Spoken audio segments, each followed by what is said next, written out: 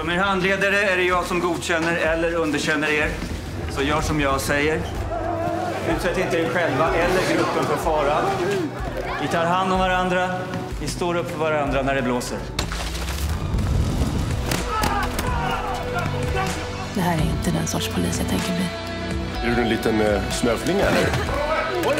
Vi har alldeles för många vapen i omlopp. Fortfarande alldeles för många skjutningar. Så du vill bli utredare? Gå i mammas fotspår. Jag tror det är bra om vi skiljer på jobb och privatliv. Vad vill du att jag ska säga om det?